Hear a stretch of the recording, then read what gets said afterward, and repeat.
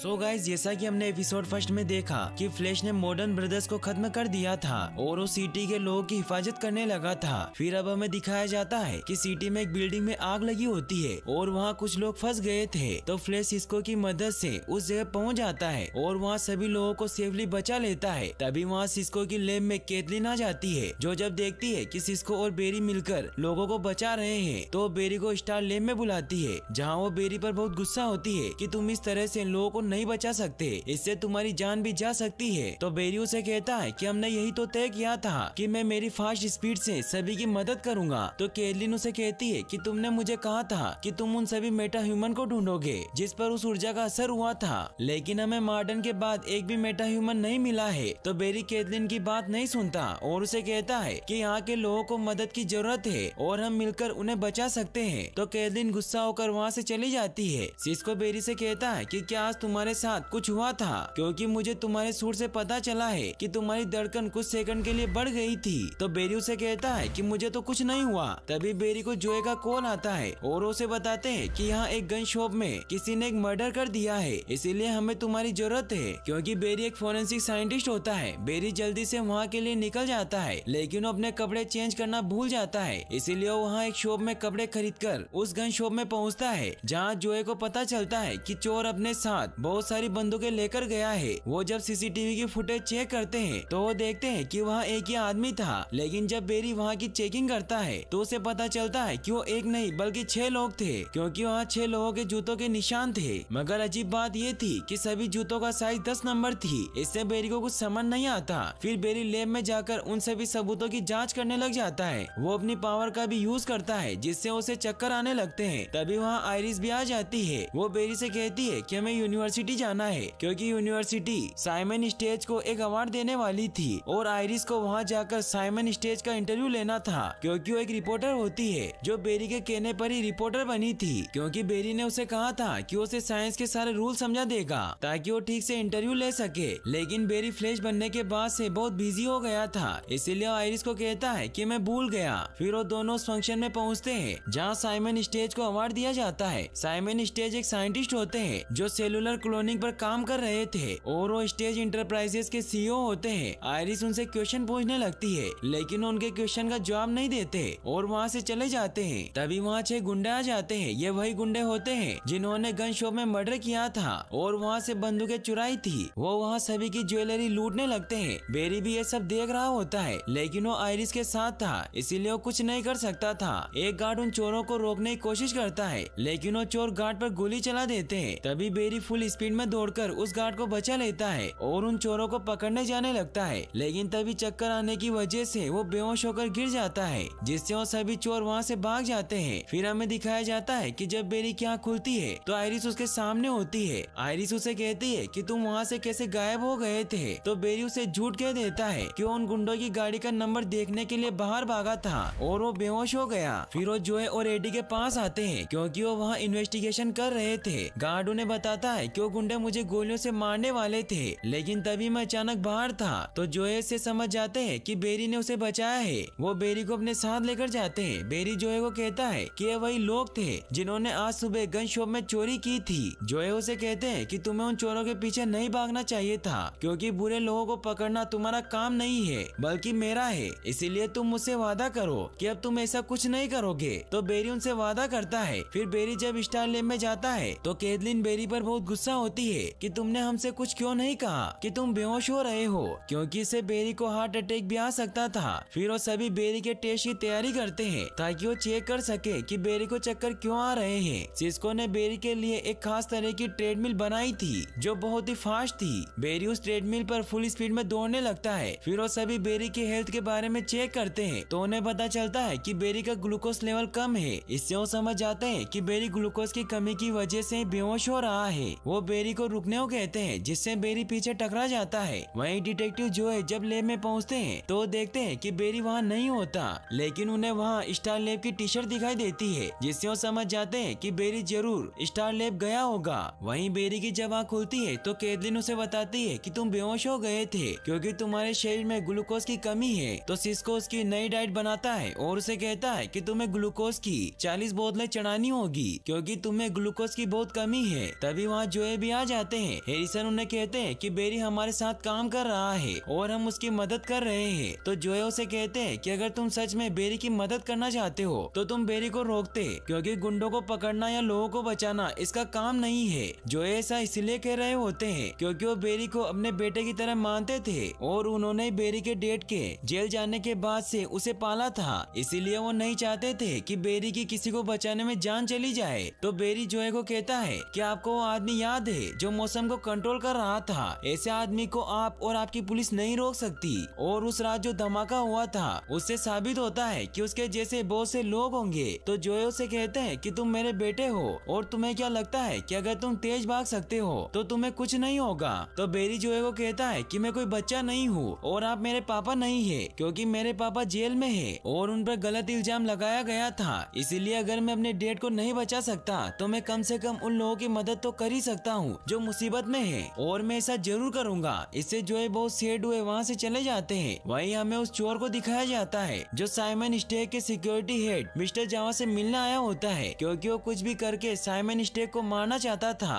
और वो चोर और कोई नहीं, बल्कि डेंटन ब्लैक होता है, जो कि एक साइंटिस्ट था। और वो पहले साइमन स्टेक के साथ एक क्लोनिंग पर काम कर रहा था, लेकिन साइमन स्टेक ने उसकी खोज चुरा ली, जिसकी वजह से ही वो अब साइमन स्टेक को मारना चाहता है। वो जावा से साइमन की सारी जानकारी माँगता है, लेकिन जावा उसे कोई भी इंफॉर्मेशन देने से मना कर देता है और उसे एक जोरदार मुक्का मारता है, क्योंकि उसे लगता है कि वो अकेला है। तभी ब्लैक खुद से अपने बहुत सारे क्लोन बना लेता है। इससे हमें पता चलता है कि वो भी एक मेटा ह्यूमन होता है। वो अपने सारे क्लोन से जावा पर अटैक कर देता है और उसे मार देता है। वहीं फिर अगले दिन हमें जोए को दिखाया जाता है, जो बेरी के पास आते हैं और उसे बताते हैं कि कल रात साइमन के सिक्योरिटी हेड का मर्डर हो गया है। फिर वो उसे कुछ सबूत देकर कहते हैं कि हो सकता है कि ये सबूत हत्यारे के ही हो। ये कहकर वो स्टेक से पूछताछ करने के लिए चले जाते हैं। तभी वहाँ आयरिस भी आ जाती है। वो उसे कहती है कि तुम परेशान क्यों हो? और तुम मुझसे क्या छुपा रहे हो? लेकिन बेरी उसे कुछ नहीं बताता। और जोए के दिए गए सबूतों को चेक करता है। तो उसे पता चलता है कि कल रात जिसने जावा का मर्डर किया था, उसके स्किन सेल्स बहुत अलग है। जो खुद की बॉडी को बहुत सारे क्लोन में बदल सकता है। वही हमें दिखाया जाता है कि जोए और एडी मिस्टर स्टे के पास जाते हैं। और उसे कहते हैं कि डेंटन ब्लेक ने आप पर केस किया था, लेकिन उस केस की सुनवाई नहीं हुई। इसीलिए शायद वो आपको मारना चाहता हो। तो स्टेक कहते हैं कि वो मुझे नहीं मार सकता,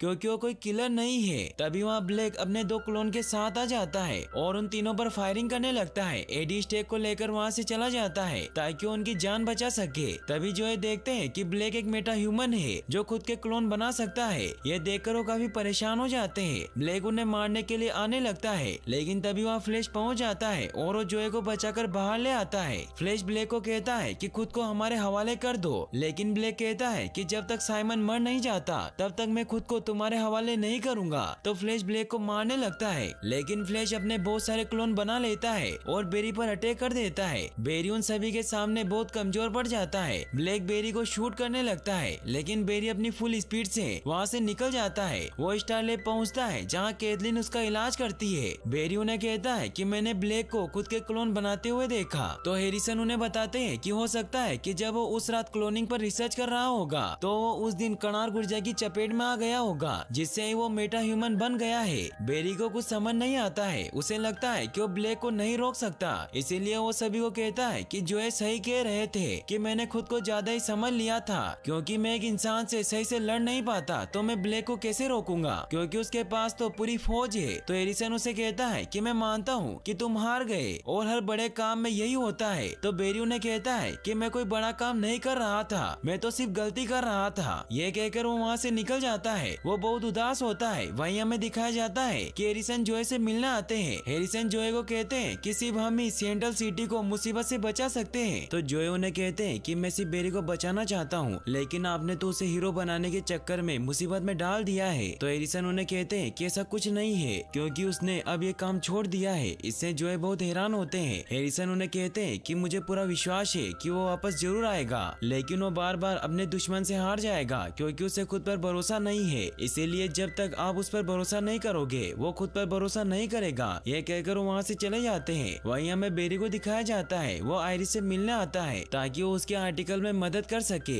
जहाँ आयरिस उसे बताती है कि मुझे टॉपिक मिल गया है, जो संजानी ताकत का है, जो सिटी में सभी लोगों को बचा रहा है। तभी बेरी को केतलिन का कॉल आता है और उसे फ़ौरन स्टारलिप बुलाती है। बेरी बेरी बहुत स्पीड में स्टारले पहुँचता है, जहाँ वो डेंटन ब्लैक को देखकर काफ़ी घबरा जाता है। तो कैदिन उसे बताती है कि असली डेंटन ब्लैक नहीं है, ये उसका क्लोन है, जिसे खुद मैंने तुम्हारे सूट पर मौजूद ब्लैक के ब्लड सैंपल से बनाया है। लेकिन बेरी को कुछ समझ नहीं आता कि क्लोन मूव क्यों नहीं कर रहा है। तो एरिसन उसे कहते हैं कि क्लोन बिना ब्लैक के काम नहीं कर सकते, क्योंकि जब हमने इसका दिमाग स्कैन किया था तो हमें उससे पता चला कि इन क्लोन का दिमाग रिसीवर की तरह काम करता है। तो कैथलिन बेरी को कहती है कि इसका मतलब ये है कि अगर असली ब्लैक को पकड़ लिया जाए तो ये सारे क्लोन बंद हो जाएँगे। तो बेरी उससे पूछता है कि मैं असली ब्लैक को कैसे पहचानूँगा? तो कैथलिन उसे बताती है कि ब्लेक को एक साथ बहुत सारे क्लोन को काबू करने के लिए ढेर सारी ताकत की ज़रूरत होती है। इसका मतलब ये है कि जो ब्लेक तुम्हें सबसे ज़्यादा थका हुआ लगे, तुम्हें उसे ही पकड़ना है। वही असली ब्लैक होगा। फिर सिस्को बेरी को एक प्रोटीन बार देता है, ताकि बेरी की ताकत बरकरार रहे। तभी अचानक ब्लेक का क्लोन एक्टिवेट हो जाता है, मगर तभी जोए वहाँ आकर उसे शूट कर देते हैं। बेरी एरिसन से पूछता है कि क्लोन एक्टिवेट कैसे हुआ? तो एरिसन उसे बताते हैं कि ज़रूर ब्लैक कहीं जा रहा होगा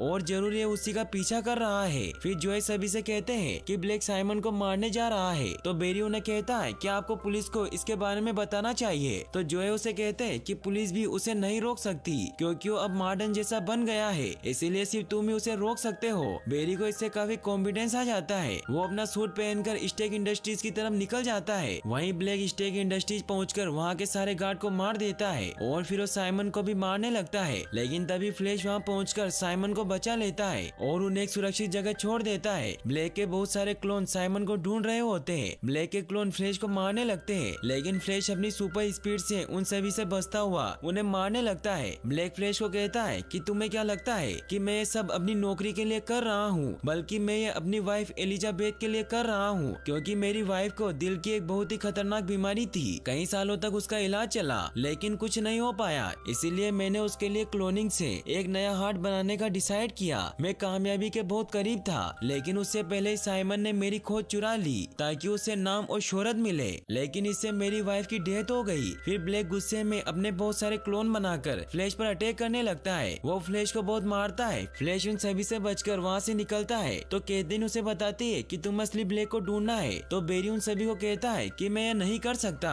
क्योंकि यह नामुमकिन है। तो जोए उसे हौसला देते हैं कि कुछ भी नामुमकिन नहीं होता। बेरी को इससे बहुत जोश आ जाता है और वो ब्लैक के सारे क्लोन पर अटैक करके उन सभी में से असली ब्लैक को ढूँढने लगता है। तभी उसे असली ब्लैक नज़र आ जाता है, क्योंकि उसे थकावट की वजह से पसीना आ रहा था। बेरी उसे पकड़कर उस पर अटैक करता है, जिससे ब्लैक बेहोश हो जाता है और सारे क्लोन डीएक्टिवेट हो जाते हैं। सभी इससे बहुत खुश होते हैं, तभी ब्लैक होश में आ जाता है और वो बेरी पर अटैक करने लगता है। लेकिन बेरी उसके सामने से हट जाता है, जिससे ब्लैक बिल्डिंग से नीचे गिरने लगता है। मगर फ्लैश उसे पकड़ लेता है। लेकिन ब्लैक अब जीना नहीं चाहता था। इसीलिए खुद ही अपना हाथ छोड़ देता है, जिससे उसकी डेथ हो जाती है। फिर हमें दिखाया जाता है कि जोए बेरी से मिलने आते हैं, वो उसे कहते हैं कि तुम गलत हो, कि तुम लोगों को इसलिए बचा रहे हो, क्योंकि तुम अपने डेट को बचा नहीं पाए। लेकिन हम दोनों मिलकर उन्हें बचा सकते हैं, और हम ये पता लगा कर रहेंगे कि वो कौन था, जिसने तुम्हारी मोम का कत्ल किया। और हम तुम्हारे पापा को जेल से बाहर निकलवाएँगे। बेरी इससे काफ़ी खुश होता है। वो जोए से कहता है कि आप मेरे पापा से कहीं बढ़कर है, क्योंकि आपने मेरा बचपन से ख्याल रखा है। इससे वो दोनों काफ़ी इमोशनल हो जाते हैं। वो साथ में पिज्जा खाते हैं। इसी के साथ एपिसोड सेकंड यहीं पर एंड हो जाता है। फिर हमें हेरिसन का मिस्टी सीन दिखाया जाता है, जहाँ हेरिसन साइमन से मिलने जाते हैं, जहाँ साइमन हेरिसन को कहता है कि वो लाल मास्क वाला इंसान बहुत कमाल का था। इसीलिए अगर वो किसी तरीके से हमारे हाथ लग जाए तो हम पूरी दुनिया को बदल सकते हैं। लेकिन तभी हेरिसन व्हील चेयर खड़े हो जाते हैं, और वो एक चाकू को साइमन के सीने में घुसाकर कहते हैं कि फ्लैश का जीना मेरे लिए बहुत ज़रूरी है। ये कहकर वो साइमन को मार देते हैं और यहीं पर ये एपिसोड फाइनली एंड हो जाता है। और गाइस अगर आप इसका नेक्स्ट एपिसोड जल्दी देखना चाहते हैं तो मुझे कमेंट में ज़रूर बताएँ। और इस वीडियो को लाइक और चैनल को सब्सक्राइब करने के लिए आपका तहे दिल से शुक्रिया। Thanks for watching